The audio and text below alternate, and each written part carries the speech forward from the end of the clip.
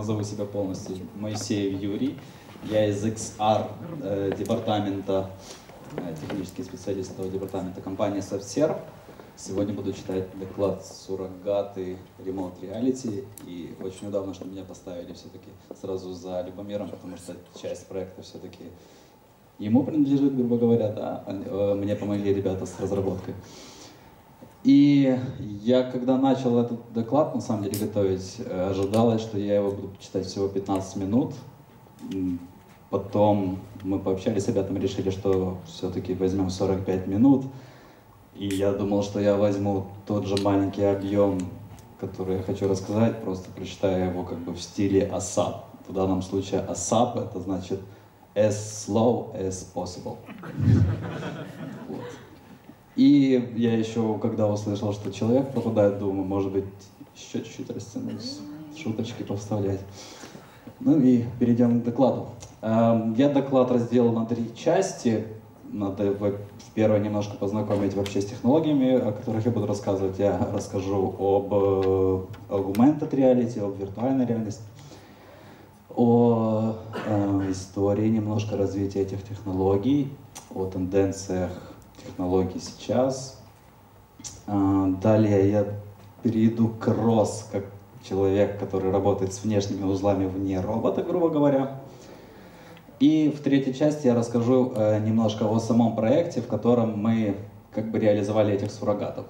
И давайте начнем с того, что разберемся с этим словом. Я думаю, не все понимают, э, откуда вообще взялось слово. Суррогаты — это название имя, да, одноименный фильм «Суррогаты» с Брюсом Уиллисом.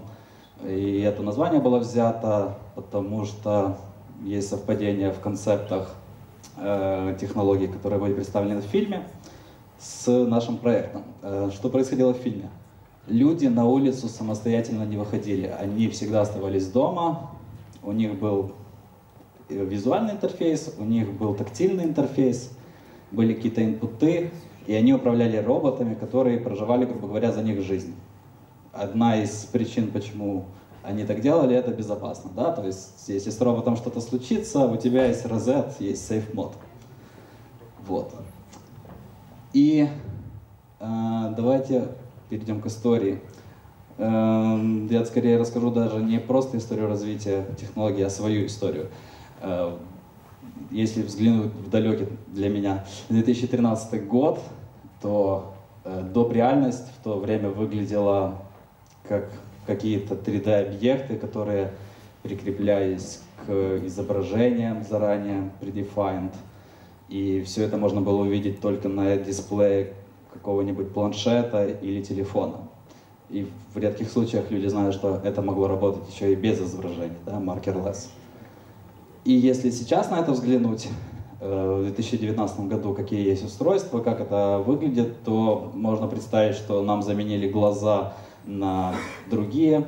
Э, вот, кто знает, есть Black Mirror, сейчас сериал, э, там подобные вещи были. И Э, люди просто в настоящем мире видят еще виртуальные объекты, которые кто-то запрограммировал.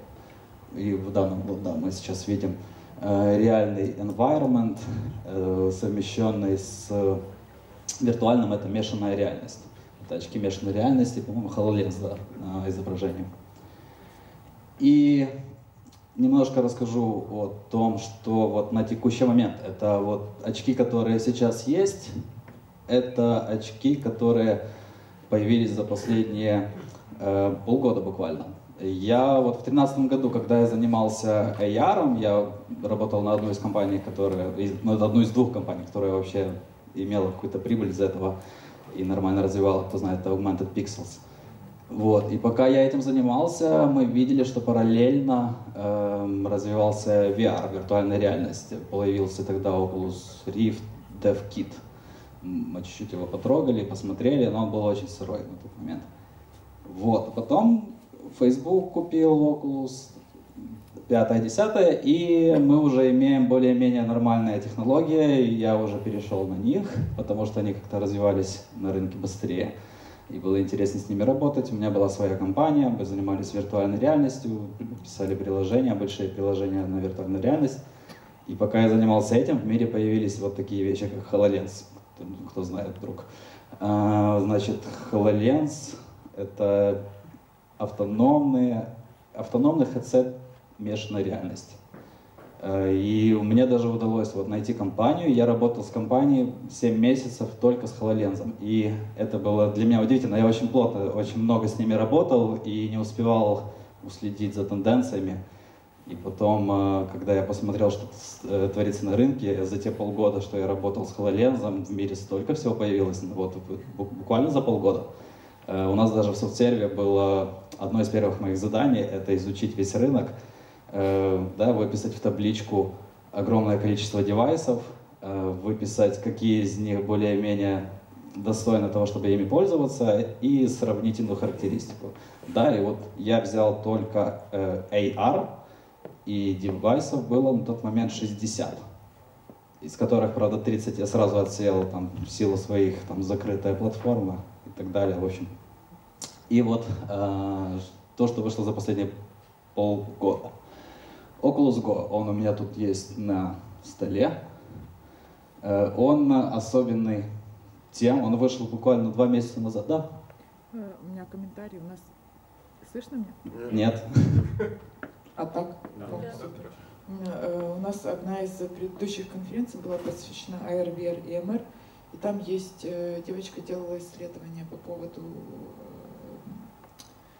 как это сказать, совместимости или э, болезненных эффектов, которые вызывают HoloLens. Вот, можете посмотреть дополнительно, короче, если будете покупать себе домой. Так. А, вернемся к HoloLens, к Oculus.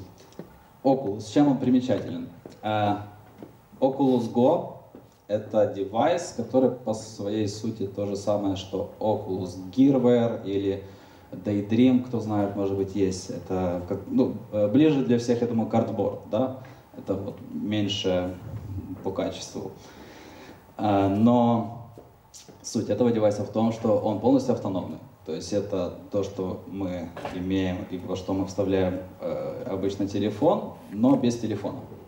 Он полностью автономный и очень демократично по цене. Он стоит около 200 долларов, то есть Э, если сравнить с Oculus Gear, э, да, у нас э, телефон на момент появления, например, э, Samsung S7 Edge, он стоил там почти 1000 долларов, и плюс Gearwear там еще 50 долларов, он так и стоит, но если сравнить вот нормальный телефон, который выдает такое же качество, плюс Gearwear, мы получаем Oculus Go, который тоже качество выдает всего за 200 долларов без каких-либо дополнительных девайсов и э, если мы там возьмем аккумулятор, он э, адаптирован чисто для работы с VR, без связи, э, без Wi-Fi, если нам не надо.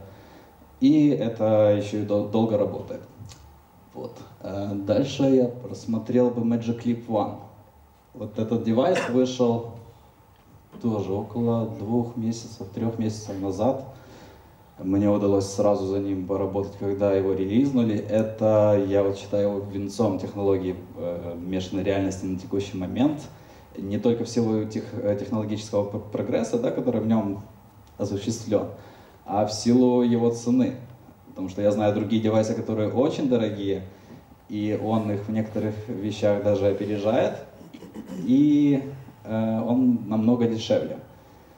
Э, значит, что мы с ним можем? Это очки смешанной реальности, которые вот ну, основная идея, да, мы видим своими глазами в виртуальном мире, э, в реальном мире виртуальный, или на самом деле в виртуальном реальный, потому что э, environment совмещены, то есть в виртуальный мир загружается сетка всего помещения, происходит continuous э, сканирование, special mapping называется.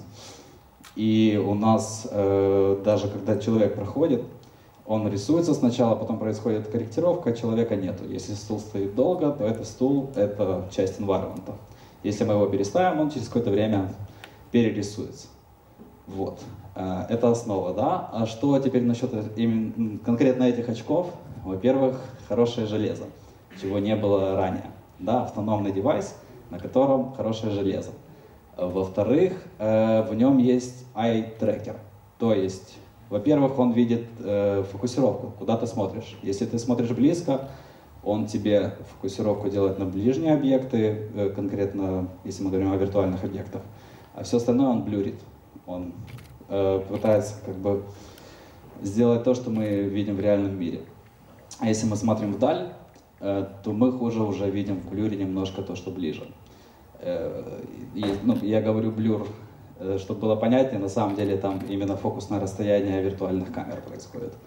И кроме того, eye-tracker еще видит, куда мы смотрим. То есть, если мы будем бегать глазами вверх, вниз, слева, право, он это заметит. И у нас даже в софтсерве, кстати, есть одна разработка. Ребята сделали эм, значит, такую маленькую презентацию. У нас есть мотоцикл или какой-то девайс, неважно, вызывается менюшка, и ты смотришь на цвет, который ты хочешь увидеть на этом мотоцикле. И на какой цвет ты посмотрел, в тот будет окрашен мотоцикл. Вот это коротко Magic Leap. Uh, Windows Mixed Reality. Это не совсем даже девайс, я бы сказал.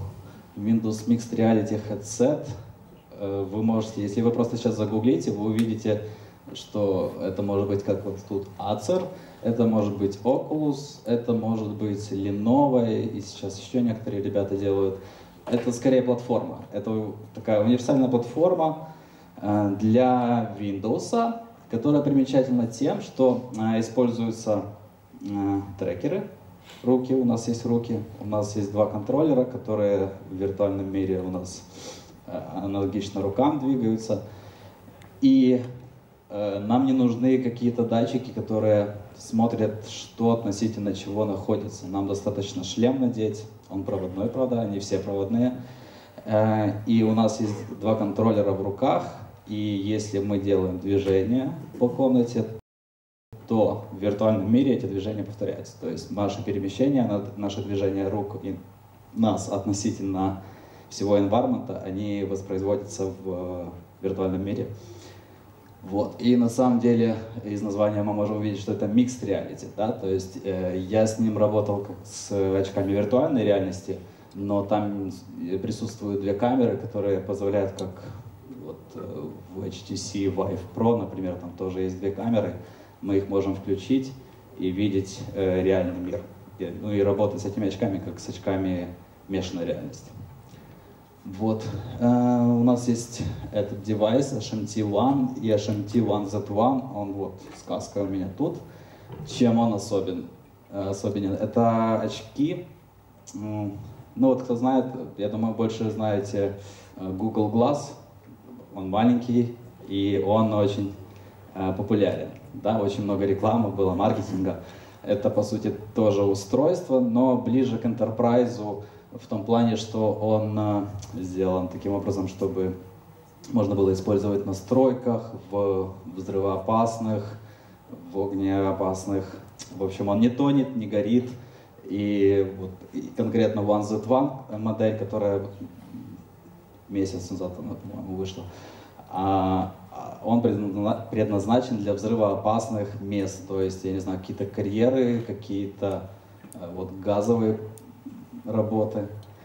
И э, это устройство полностью hands-free.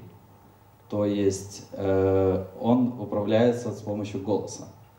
Э, у него нету никаких других там gesture recognition, у него нету э, у него нету ай-трекеров этих всех, и только голосом мы можем управлять, что примечательно офлайн. То есть в нем очень хороший э, офлайновый voice recognition. Так, и перейдем к Oculus Quest. Oculus Quest. Я его, кстати, добавил вот буквально позавчера, потому что я узнал, что он вышел. Э, этот девайс вышел где-то две недели назад приблизительно.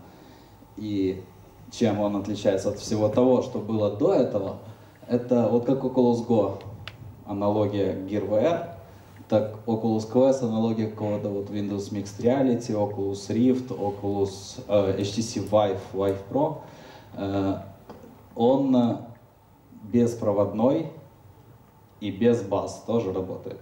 То есть у нас есть руки, у нас есть голова, мы перемещаемся по комнате, и это все по Wi-Fi. Это на самом деле большое достижение. Э, перейдем к следующему слайду сейчас. Это немножко э, пример да, технологий, тенденций, что сейчас делают, какие применения в, э, в бизнесе. Очень популярная тема – это remote assistance. У нас имеется человек с шлемом, который плохо разбирается в своей работе, и имеется человек за компьютером, который в его работе хорошо разбирается. Э, у человека мешанная реальность, он может в своей этой мешанной реальности руками виртуальный карандаш делать, рисовать, дорисовывать объекты. В мешанной реальности можно, тут просто это представлено, э, можно как-то с бар на стены вешать разные процессы, которые крутятся внутри там, операционной системы. И вот в данном случае мы видим, как человек э, делает предположение, в чем проблема на девайсе, человек за лаптопом имеет возможность в его мешанной реальности дорисовать еще объект, и он показывает, где действительно проблема. Он показывает на проводочек. И э, насчет вот этих таскбаров, э, у нас человек, у нас человек э, имеет такой, э, такое окошко наподобие скайпа, мессенджер, э, с помощью которого, то есть у него еще и голос, у него э, и динамики, он может еще и общаться с, с другими людьми и видеть их, при том, что у него, да, вот объединенная, э, объединенная мешанная реальность, которая еще и э, синхронизирована с тем, что на лаптопе у человека. Прошу, це концепт чи це ну, вже десь є Це є. В Уфорі Чалк, наприклад, є технологія. Є в Archity Remote Assistance в останньому додавлений і в SDK, можна його використовувати. З коробки працює. Да, из коробки. Вот. И я сделаю резкий переход к следующему слайду. Казалось бы, не связанный, да, ни с чем. Просто когда говорим, ну, вот о суррогатах, вернемся к суррогатам, если вот вкратце описать тот проект, который мы сделали, о котором я буду дальше рассказывать, то мы взяли человека, надели на него хедсет, этот хедсет считывает аналоговые синапсы внутри его мозга, как-то преобразовывает цифровой сигнал, этот цифровой э, сигнал имеет какие-то паттерны, мы их улавливаем и интерпретируем какие-то команды для управления роботом. Это те слова, которые я бы говорил тут через 10 лет, я думаю. Вот. А сейчас немножко, да, люди понимают, что значит ASAP стиль доклада. Вот. А насчет Илона Маска. А, я думаю, всем хорошо известный. Известный это реальный революционер в области написания скандальных твитов. Он э, сейчас просто э, реально занимается э, чтением синапсов человеческого мозга. Нейролин, компания, которую он создал в 2016 году, а, она вот как раз занимается этими вещами, и это приближает нас к суррогатам. То есть мы можем уже не пальцами нажимать на кнопки, э, не даже в виртуальном пространстве что-то рисовать и нажимать на виртуальные кнопки, а мы можем просто о них думать. Это вот будущее наше вторая часть скоро моего доклада. А, значит, что мы видим на экране? А, 10 лет. Это оценка, казалось бы, оптимистичная достаточно, да, что уже через 10 лет мы просто будем думать о каких-то командах, и они будут работать. И ну, это не похоже на реальность. А тем временем вот есть вещи, которые, о которых люди просто не знают даже. Я думаю, даже в наших вот, краях, внутри софтсерва, не все знают, э, какие технологии у нас есть. Вот, например, вот Ariels Barton — это японская компания. Они создают хорошие голограммы еще с 2012 года, э, которые работают даже под солнечным светом. У них есть в 2015 году хорошая презентация. Они сделали э, мобильный аппарат, который цепляется на машину и создает голограммы хорошо отображаемыми в ну, то есть в реальном environment с подсолнечным светом, под ярким небом.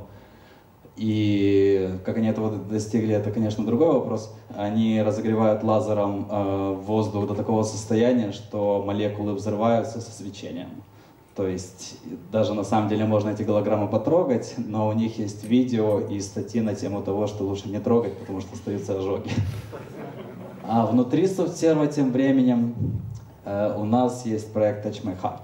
Touch My Heart — это проект, в котором э, R&D команда э, может увидеть свое сердце, которое бьется синхронно с собственным, э, в мешанной реальности. Оно вот перед нами, и оно может его потрогать.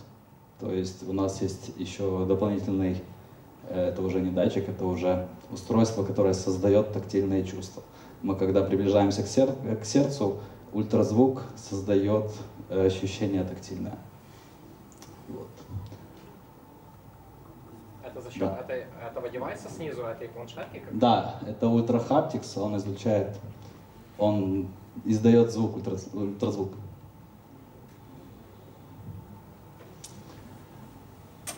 Итак, ROS from outside. Э, тут речь о том, что я работал с Росом, да, но я работал не с самим роботом. Я писал что-то для того, чтобы управлять роботом. Э, я писал, может кто-то знает, кто работал с Unity. Есть, да, пара человек. Да. Устанавливал.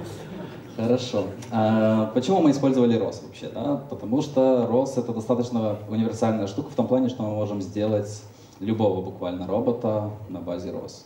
И почему мы взяли Unity? Потому что это универсальная платформа для разработки приложений э, почти на все. Это э, платформа, на которой можно э, делать билды на примерно 30 целевых платформ. И вот если даже просто взять вот эту мой набор девайсов, то мы видим три девайса на базе Android, то есть тут вообще один билд залит просто внутри девайса. Эти три девайса абсолютно разный input имеют, и он одинаково работает на все. То есть не работает? Как Android в начале, да. А, посмотрим на то, как выглядит ROS Outside. Что мне надо знать, то есть для того, чтобы разрабатывать э, такое приложение для управления роботом. Мне надо знать, что есть некоторые нод, некие ноды, это узлы. Узлы это какие-то процессы, которые крутятся, и они между собой общаются. Э, общаются при помощи топиков. Значит, процесс может, что он делать? Он может ждать какого-то сообщения с сенсоров или инпутов, а может быть э, тем, кто наоборот что-то создает, генерирует, шлет, например, ну вот, собственно, инпуты, э, может э, с камерой работать, да, то есть он может быть один нот это тот, кто э, генерирует месседж э, от камеры, а другой нот это тот, кто получает этот месседж и как-то его распаковывает. Вот. Э, как это осуществляется? Там обычный TCP/IP протокол, сокеты, мы создаем месседжи, пакуем их в стринг, канал для связи, передаем сообщения. Если мы возьмем конкретно наш случай, где мы взяли Unity Application, то здесь используется ROS Он работает на веб-сокете, эм, сообщения пакуются в JSON формат, там уже внутренний протокол, мы передаем сообщения туда-сюда. На ROS у нас должен стоять пакет ROS Bridge, который создает WebSocket сервер, к которому мы можем подключиться. А на, внутри Unity проекта должен быть ROS Sharp, который э, создает WebSocket клиент. И э, в этом ROS Sharp на самом деле очень удобная API. Я даже многие месседжи не разбирал, я просто цепляю компоненты, я вижу по названию, с чем они работают – и они сами работают. То есть, э, если взять, например, инпуты, то я брал э, CMD-Well, кто знает, то есть твист сообщения, два вектора, передаю на него, и у меня есть вращение и направление движения.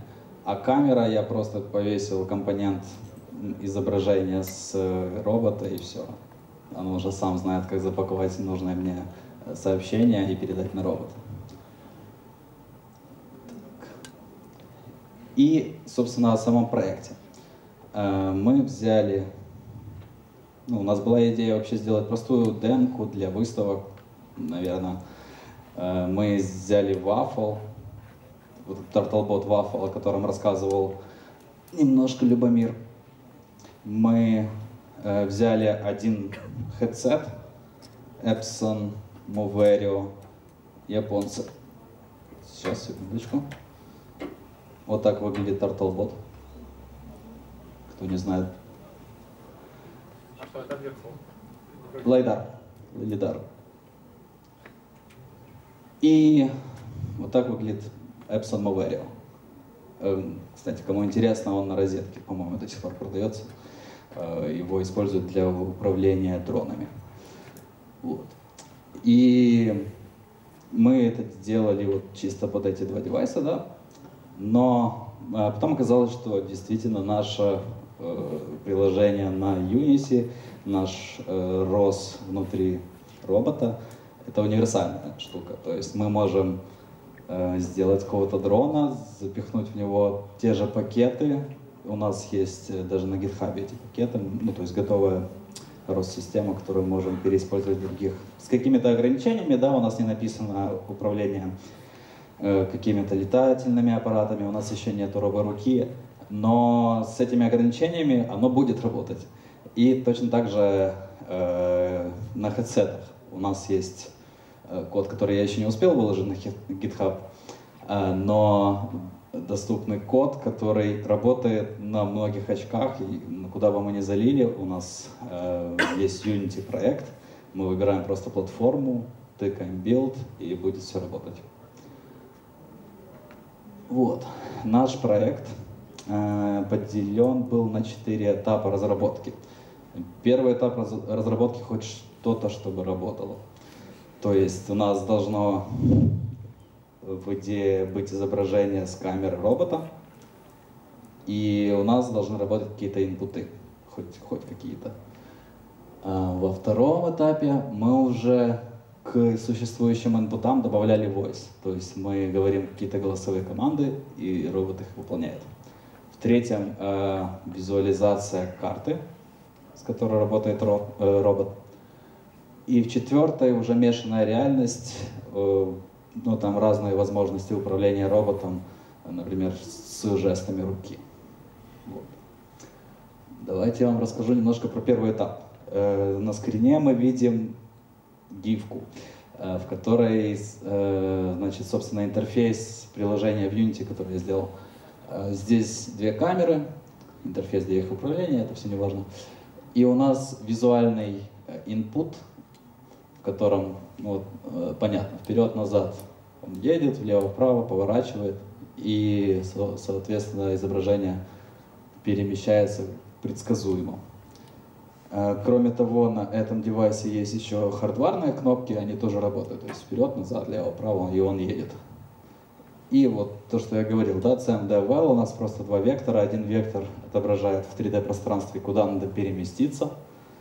А, Направление вектор по- показывает куда, его длина показывает как быстро.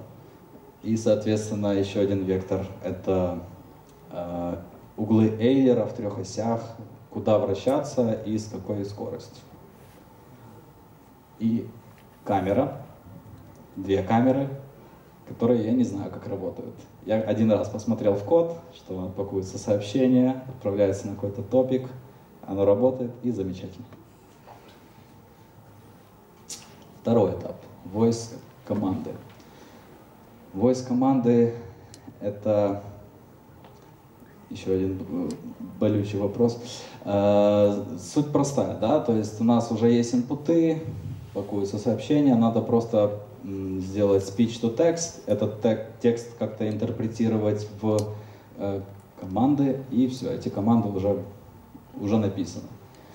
Но э, у нас два ограничения в, в данном случае, именно у нас. У нас в архитектуре, во-первых, не предусмотрен интернет вообще. У нас Wi-Fi модуль э, робота соединен с Wi-Fi модулем хедсета напрямую.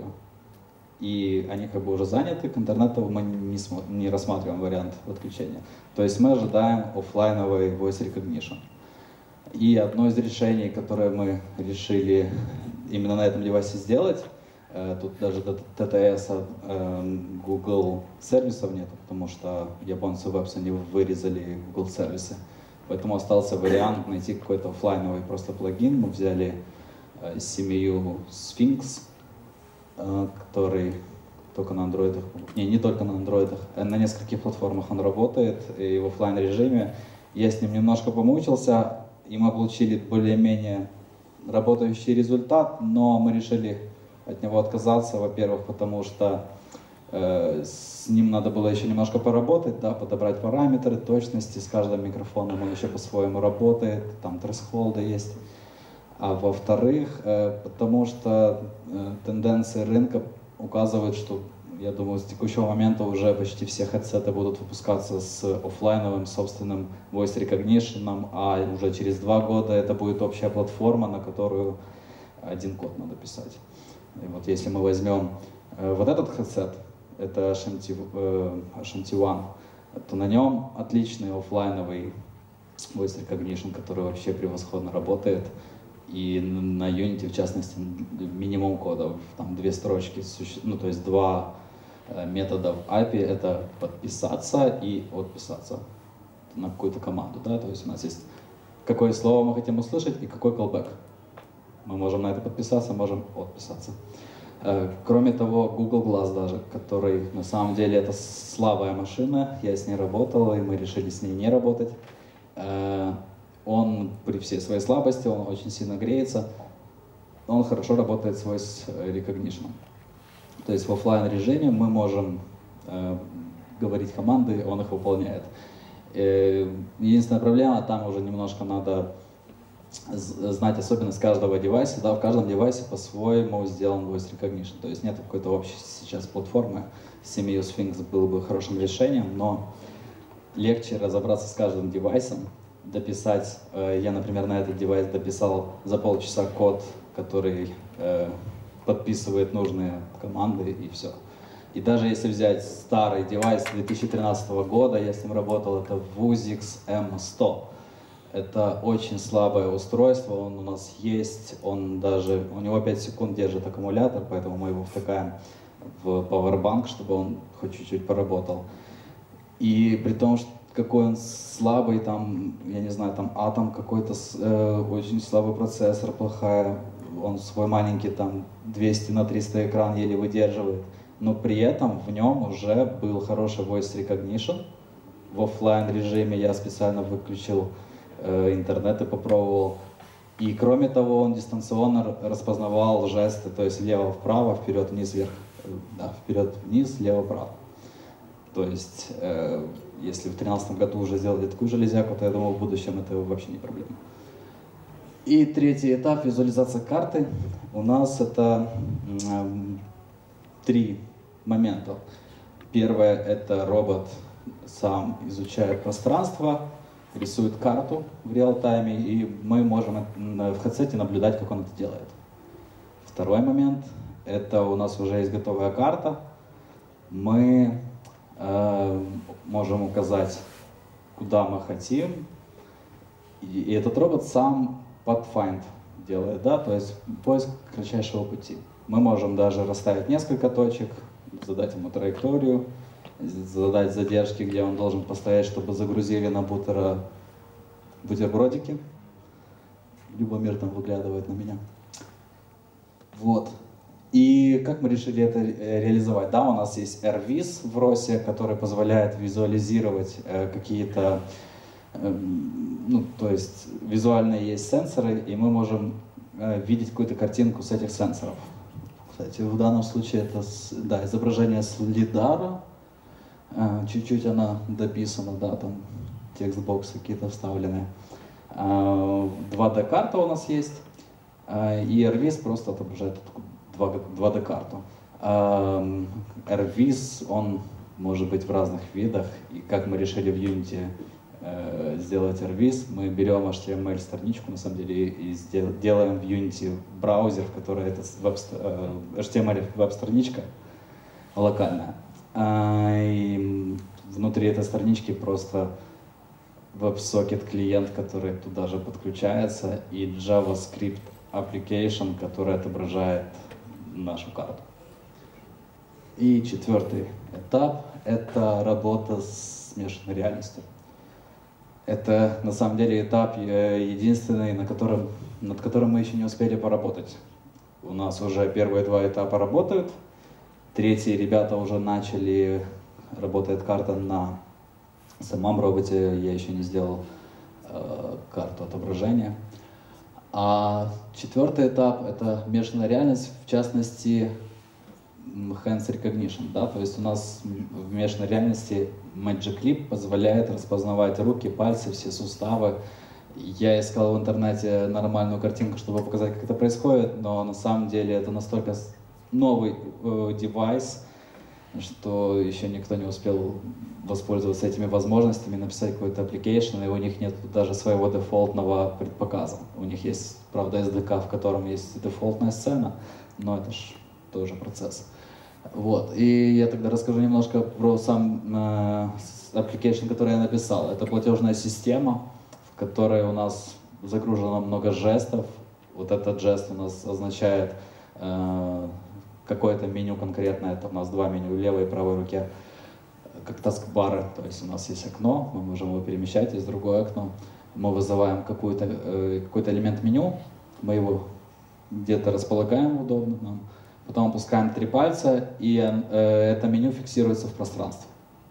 Далее мы уже можем там левой, правой рукой кнопки нажимать, отменять, там уже очень много жестов, очень много команд, там home, back, типа э, task, bar и так далее. И таким образом, э, что мы хотели сделать для робота? Мы хотели сделать впечатляющую, это еще будет сделано даже в этом году, Э, впечатляющую демонстрацию, в которой мы роботом управляем при помощи жестов. То есть мы можем, вот, например, создать карту, элемент, прикрепить ее где-то на стене и протыкать вот просто пальцами траекторию, где мы хотим увидеть этого робота. Какие-то там вот задержки, можно там на менюшках везде подергать слайдики. Эм, можно там показать какой-то жест, слушай мою следующую команду, и пальцем указать, я хочу тебя видеть здесь. И он просто приедет, у них, у робота и у хедсета Э, легко совмещаются environment, то есть карта робота с environment смешанной реальности в шлеме. И робот знает, куда надо приехать на карте. Вот. И настало время демонстрации, если у меня есть время. Женя есть, говорит, что время есть. Я тогда попробую хотя бы кого-то подключить.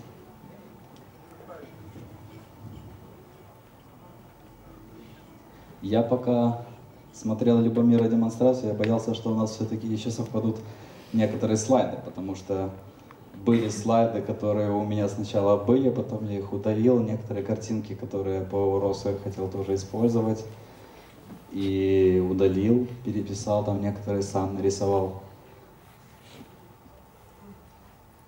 Connect. Я могу рассказать. Эм, помните слайд, где был интерфейс? Вот у меня сейчас этот интерфейс. Я вижу свои ноги. И теперь я могу показать. Я нажимаю кнопку вверх, он едет вперед. Я нажимаю кнопку вниз, он едет назад. Есть э, тачпад, абсолютно аналогичный тому, что мы на ноутбуках используем и я тут зажимаю кнопку, чтобы появился джойстик. Сейчас я поудобнее себе сделаю. Вот, зажимаю джойстик, я двигаю палец вверх, и он поехал вперед. Я двигаю палец вниз, не туда подвинул сейчас, а он поехал назад. Так, я от него отключился.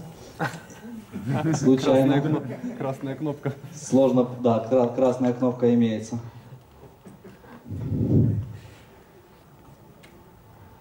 сложно показывать и одновременно тыкать. Также я написал ну, инпуты да, на voice. Это у нас HMT, который слушает только голосовые команды. My programs. ROS Communicator.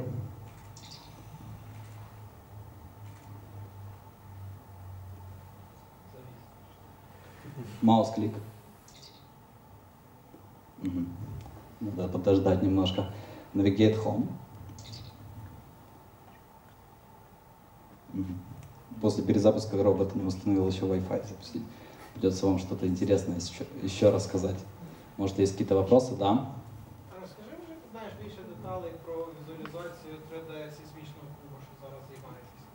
Сейсмічний куб. Чи ти в паралелі йдеш від того проекту? Я в паралелі. Е, Це Machine Learning Team займається. Та я з ними зараз. Нічого не знаєш. Е, Я тільки е, перед виїздом на конференцію е, до мене підійшов Микола Максименко, новий директор е, R&D Тіми, і запитався щодо візуалізації в Unity е, з Machine Learning. Я йому розказав про те, які є рішення, і він каже: Google то пробували, в них не вийшло, треба знайти нові. Я кажу, ну тоді давай в понеділок, коли я повернуся з конференції. Все, що я знаю про той проект. Добре. Uh, recent applications. Mouse click.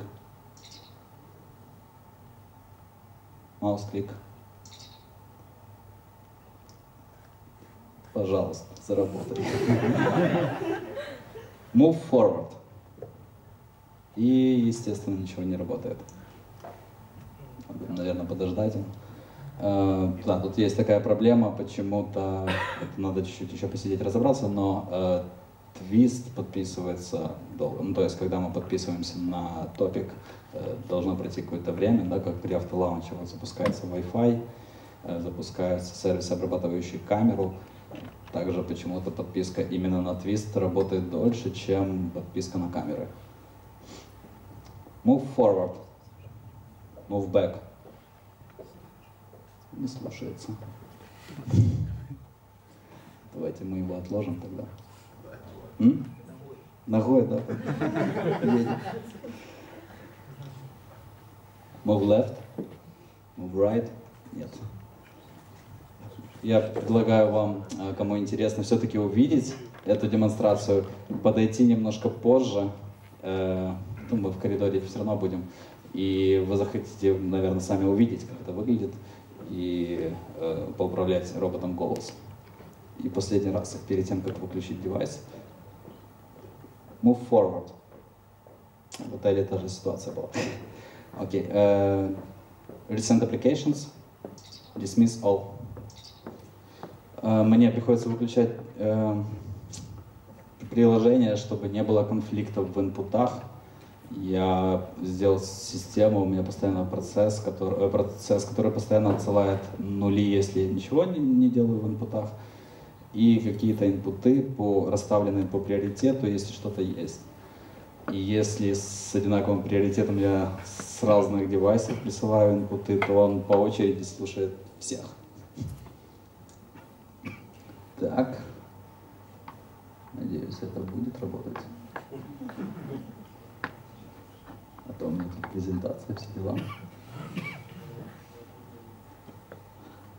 Это Oculus Go, виртуальные очки, виртуальная реальность, э, в которых, вы понимаете, в этот раз я не вижу вас. Мы можем поверить тебе на слово. Да, вы должны поверить мне на слово или посмотреть, что будет чуть-чуть позже. Та же ситуация, надо чуть-чуть подождать, пока он подпишется, и оно еще может не заработать сейчас. Возможно, это проблема на стороне Роса. Хочу заметить, что это основная стратегия продаж. Да-да-да. Короче, это все, что я рассказывал, только что перечеркнулось, да? то, что Оно все не работает.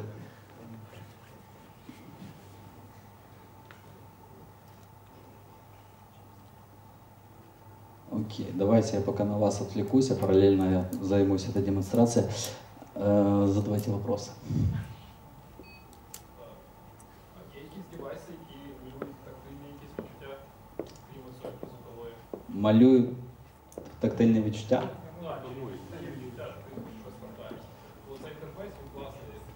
Намотаєш, то Е, Мається на увазі, що.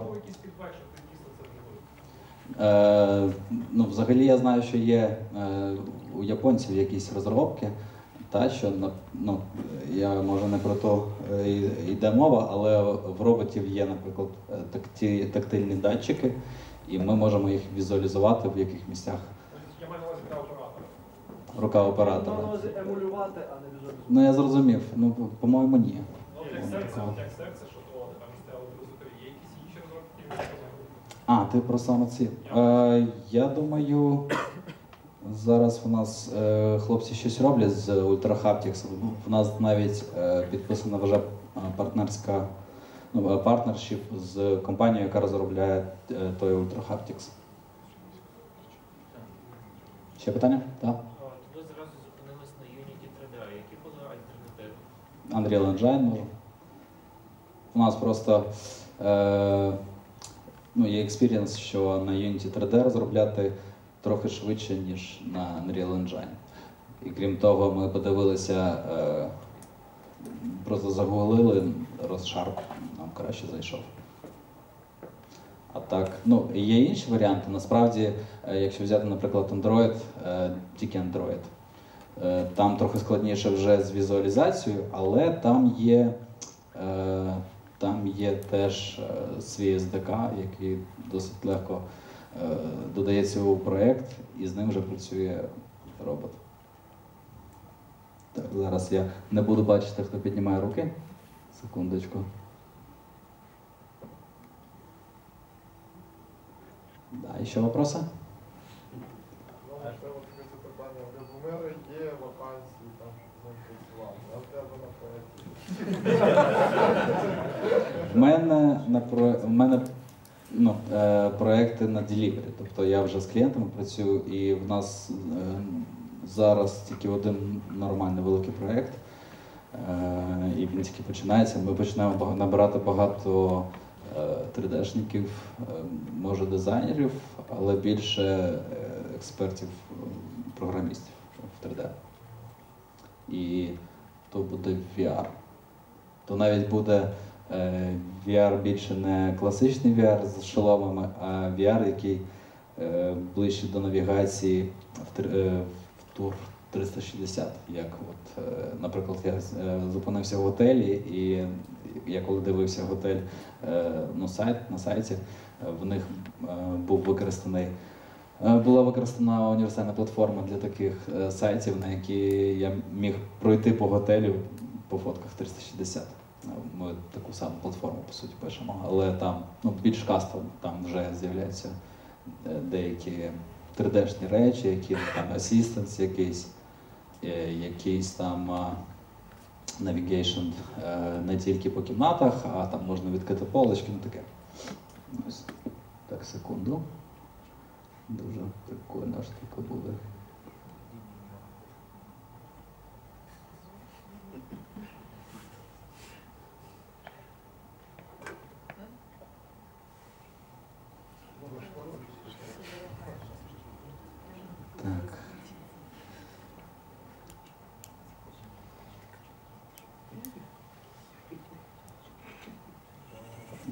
Поехал, посмотрите.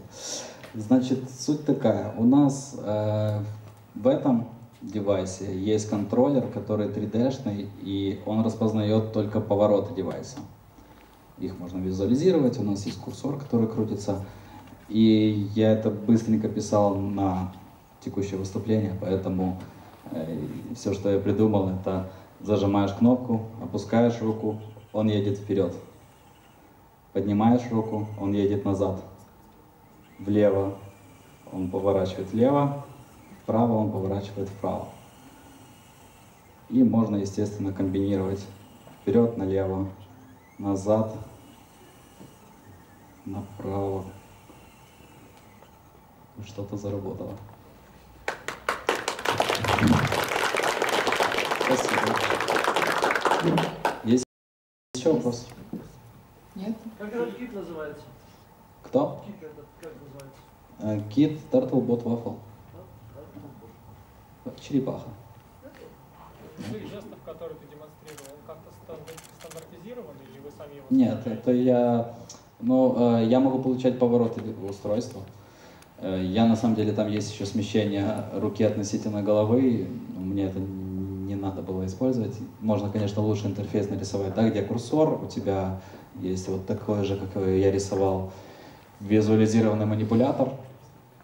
и мы дергаем вот этот кружочек по манипулятору. Это было бы удобнее, но это надо дописывать, потому что надо сделать интеракшн э, луча от курсора, до, от контроллера с э, интерфейсом.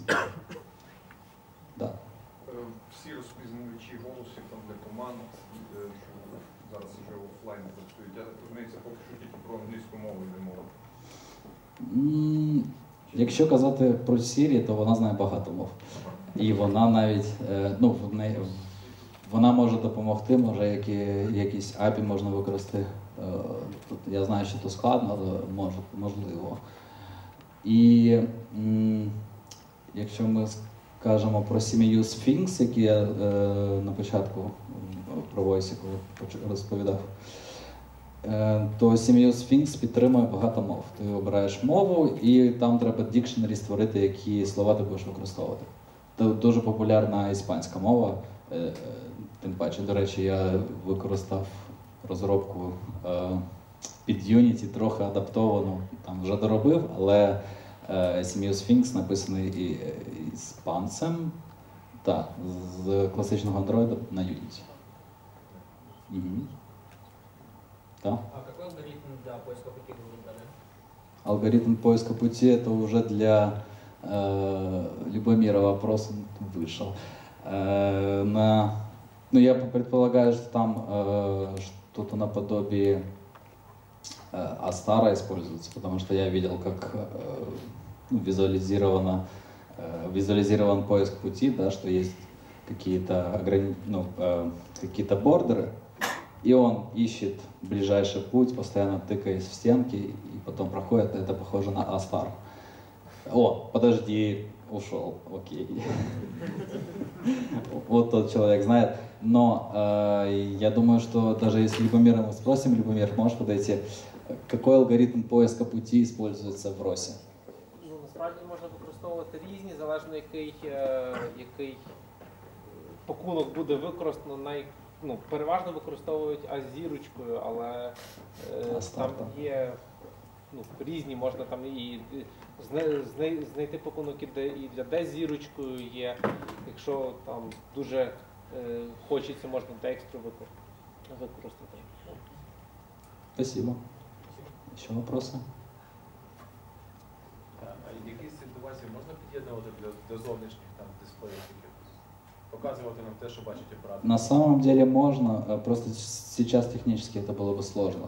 Э, Но, э, скажем, вот этот шлем, он не полностью автономно работает в плане, если мы хотим подвязать карту, нам придется по-любому подвязать карту. Для того, чтобы вообще создать аккаунт, надо синхронизироваться с телефоном. А с телефона уже с любого есть возможность показывать на любом компьютере. Вот. И, ну, то есть у нас всегда есть бродкаст на телефон, если мы нажмем кнопку. Э, Потом, если возьмем этот шлем, то есть, если кра- вкратце, то у них у всех есть. Э, Здесь классический Android, например, используется. По DB Tools мы можем сделать стрим, и все будет работать. Э, С любого почти девайса, э, который я знаю, да, по-моему, с любого можно сделать визуализацию того, что мы видим, но э, у каждого своя, своя реализация, то есть нельзя какую-то универсальную толзу сделать. Я думаю, это вообще сложно на уровне архитектуры. То есть у кого-то Android, у кого-то у HoloLens UVP используется, UWP, Universal Windows Platform.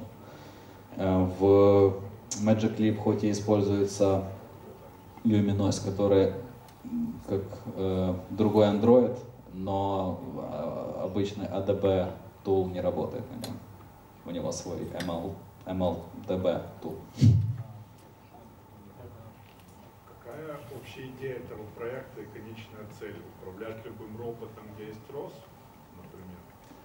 По сути, да. То есть у нас а, есть платформа, то есть есть проект, который мы можем залить на любой шлем, и у нас очень много инпутов, и в будущем вот появятся синапсы, появятся э, какие-то там тактильные датчики, какие-то другие инпуты, и вот у нас уже есть проект, в который надо будет просто дописать еще там один input, например, э, и оно уже будет работать. Ну и на Росе уже много существует ро- роботов, э, тоже которыми, по сути, один проект работает на всех.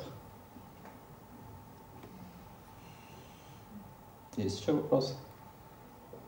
Отпускаем Юру. У меня есть еще последний слайд, о котором я могу сказать. Если вот взять, да, начало наше суррогаты, и вот то, что я сейчас показал, то, возможно, люди уловили параллель, да, что у нас есть в этот фильм, как развиваются технологии, что мы видим сейчас, и, ну да, собственно, философский вопрос на дисплее, значит, ну, конец моей истории.